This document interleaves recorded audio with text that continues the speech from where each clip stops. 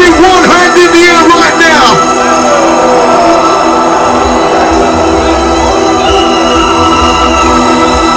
You're gonna wait to shit out that shit.